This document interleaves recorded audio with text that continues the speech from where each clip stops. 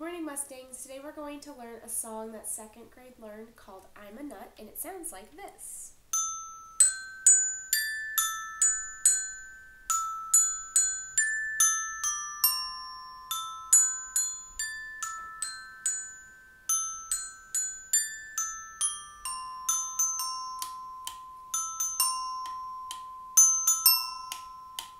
And if I was to sing it, it sounds like this.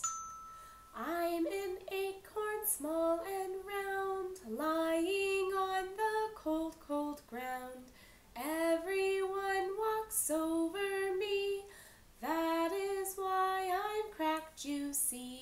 I'm a nut, I'm a nut, I'm a nut.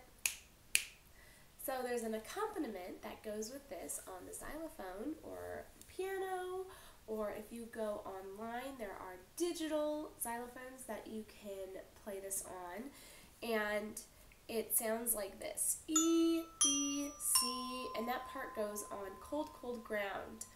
Um, so it would sound like this I'm an acorn small